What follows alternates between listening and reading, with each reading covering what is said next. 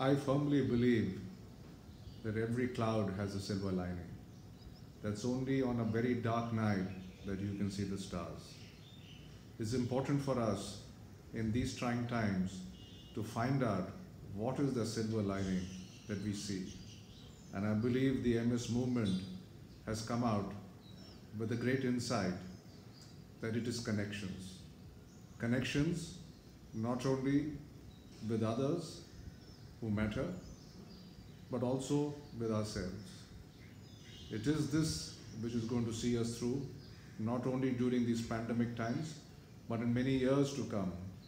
So I wish the very best to the MS movement on World MS Day, and I'm looking forward to a wonderful story unfolding in the coming years.